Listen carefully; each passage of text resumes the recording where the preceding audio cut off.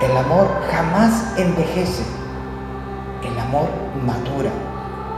De tal manera que es este amor el que lo sostiene en las buenas y en las malas, en la salud y en la enfermedad, hasta que la muerte